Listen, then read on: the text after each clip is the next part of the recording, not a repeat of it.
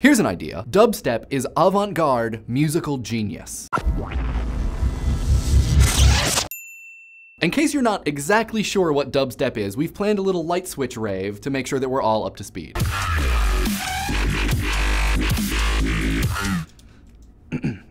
so, dubstep. It's a kind of dance music and it originated in the UK around 2002. Its main characteristics are really complicated syncopated rhythms, a crazy array of non-musical sounds, and oh man, the wub.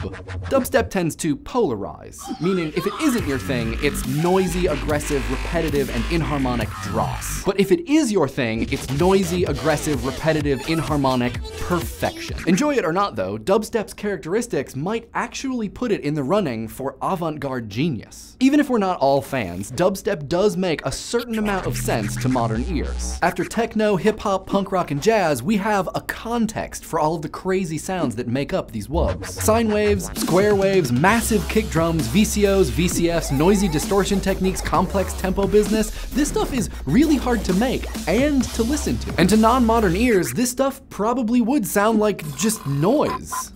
A hundred years ago, there were a bunch of people who were doing some of the same things that Vexed and Datsik and Skrillex are doing now, but they were considered totally bizarre. Not like charming pop culture bizarre, but like fringe of the art world bizarre. In 1924, George Antheil wrote the Ballet Mécanique, which was one of the first instances where music-making machines were synchronized with live performers. Incidentally, it was also probably the first time that anybody complained about electronic music not actually being music. In the 1940s, Pierre Schaeffer invented musique concrète which used everyday sounds alongside and in place of musical instruments. But the gentleman who would have loved dubstep the most are the Futurists. Based in Italy around the turn of the century, the Futurists embraced technology, violence, and speed as the basis for their art. They were also anti-feminist fascist warmongers, so they weren't exclusively awesome. The Futurists' best-known composer, Luigi Russolo, argued that all sounds are musical, and that noise is really just a meaningless label. He even held noise concerts with his brother and their collection of weird, imposing-looking noise machines. Incidentally, it was probably the second time that people argued that this was not music. And he imagined a futurist orchestra, which played what he called families of noise, all of which are featured prominently in dubstep. But the futurists, they were just a short-lived movement at the fringe of the art world. Their performances were small affairs, at which I'm sure many monocles were dropped. They weren't even critically well received. After one performance in London, the Daily Sketch newspaper printed a review that read, one listened in considerable distress. Only sufferers of complete deafness should attend the next recital. That is harsh. So clearly the Futurists never became as rich and famous as this bespectacled young man, or played to packed arenas like Bassnectar does. This is probably a clear indication that Futurists were ahead of their time, while dubstep is right on time. We will stand in a room and willingly listen to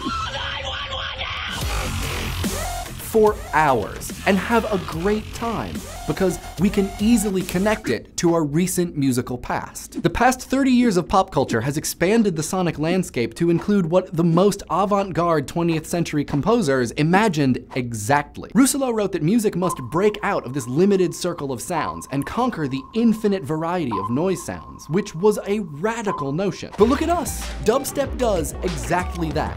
And it's not a small avant-garde space either. It's literally worldwide popularity. In just under 100 years, we have gone from dropping monocles to dropping beats. That the popular sonic landscape is this huge is amazing, but it might lead you to wonder, what happens next? It always feels like we've reached the end of what is possible in the arts. But that's kind of what creativity is all about, right? Trying to figure out what more we can do. And dubstep shows that popular music is always expanding, frequently into areas that we used to think were completely unlistenable. And maybe it is only a matter of time until the number one hit is a remix of a fork caught in the garbage disposal.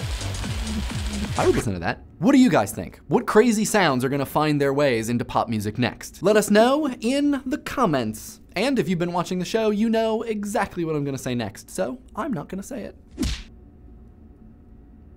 It was a post-scarcity party last week. Let's see what you guys had to say. Yes, I meant survival mode. Thank you, the Mini Hilly, and literally everybody else for reminding me.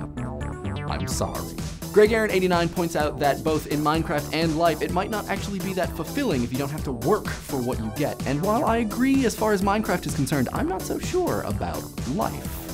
Infinite everything all the time seems kind of neat. Building on that point, Ire of Silverpine says that maybe creativity and novelty would be the new currency, which a lot of post-scarcity theorists seem to agree with. So Interesting. Dixivid makes a point about the MakerBot having more potential than current manufacturing technology and makes that point by comparing it to photography, which is really interesting and super cool. Sir Chrissy makes a really smart point about the fact that we might already live in a post-scarcity economy with regards to information and data that we can just copy endlessly and not really lose any resources. Jared Janes doesn't think that it's possible at all to reach a post-scarcity economy, but that we can get very close.